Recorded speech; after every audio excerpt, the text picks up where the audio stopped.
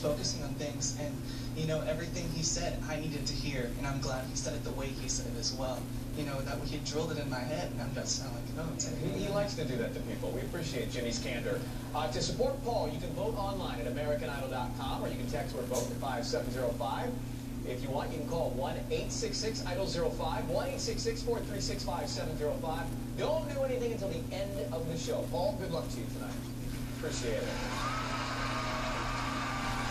Just after this, we'll take it back to season six as an iconic Jordin Sparks moment is reinvented by Candace. Live on Idol right after the break.